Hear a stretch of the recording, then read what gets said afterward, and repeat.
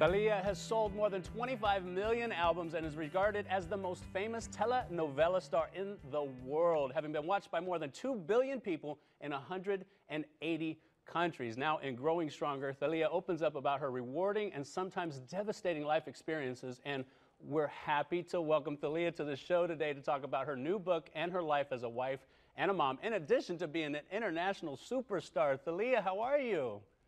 Hey, how are you? Thank you for having me here. I'm so happy. Good morning, everyone. Absolutely. It's, we're, we're, it's an honor to have you here. Now, before all this huge success that you, you have had for many years now, you are a young girl living quite an interesting life in Mexico. Tell us about that. Well, I was born in Mexico City, and uh, you know I'm one of five sisters, and uh, my father died when I was six years old, so that was very traumatic.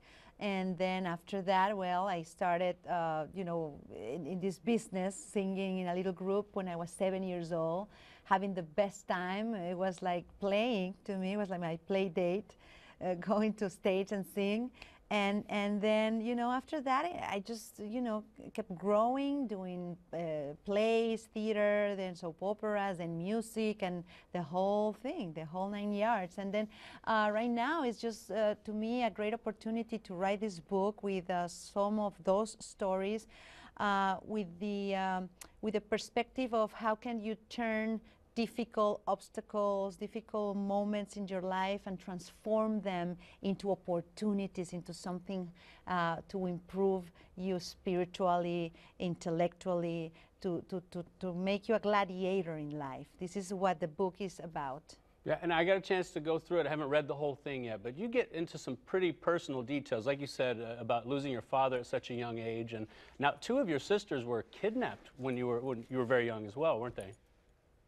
Yes, yes, that was a very uh, difficult moment in our life, in, in my family, and uh, it was traumatic. I mean, just to think about it, just gets me anxiety. But it was uh, one of those, again, experiences that made us like rocks, like solid, uh, you know, like uh, it was just one of those moments that you grow, that you grow stronger, that you overcome all these obstacles. It's like just going to the peak of that mountain and finally see the horizon, you know. And so it's basically uh, uh stories like that through the whole book that uh, has like a like a sense of empowerment, like a like a flavor of life, of of feeling good, or of releasing all those chains, of letting go of your ghosts and opening those closets and get rid of the skeletons in the closets and just start from zero and start start fresh. That's kind of growing stronger is all about. Well, you know, that's the best way to, to place to come from, really, when you're talking about yourself, is just to let it all out there, isn't it? And just eh, people can learn from that because a lot of people probably relate to some of the stories that you're going through. And one of the, the definitely, very, definitely. And one of the serious things that you talk about are the health issues that you had to overcome as well. What, what are some of those? Yeah, well, um, I got Lyme disease. That is a, a, pandemic right now in the whole world, but it's like a quiet thing that nobody really deals with it, or they don't know really how to deal with it. And uh, and it was like terrifying and awful. It was a moment that I felt I was going to die. This this is a, a an illness that you can really die from it, Lyme disease. So you have to to, to be informed about it. I talk about uh, this in the book. There's a chapter of like how can how I, I, I, I just you know improve through through the years um, with therapy and medicines and a protocol and, and good doctors. Uh, this this uh, obstacle, and I want to talk about it because it's there. Everybody could could get it, and nobody talks about it. So it's good to just put it out there.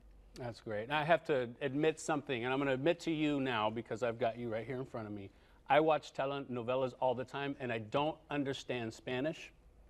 I just get but you so, like the drama. I get so, it's so dramatic. I get so pulled into it, and I watch, and I'm like, Why? oh my gosh! And I don't have any clue what they're saying. I don't even care what they're saying. It's just it sucks me right into it. So I you love just, it. You just feel like right the faces and the drama, and the the whole yeah yeah yeah. It's it's dramatic. Uh, you know, you can laugh, you can cry. That's that's that's what it's all about. It's all And about passion. It's so funny. It's all about passion because this book has those two elements. You are reading the book and then you cry, and then you laugh, and then you cry, and then you laugh. It But has that learn. melodramatic element. But we learn through it, and we learn through you. Thank you so much, Thalia, for for being with us today. Our thanks to, to you and spending the time with us, as well as Penguin Group for sponsoring this segment. It's a weekend full of family fun and entertainment for just about everyone. We'll break them all down for you with Dan Brown from Folio Weekly. He's back to give you the chance to score a four-pack of passes to the fair also. Stay with us.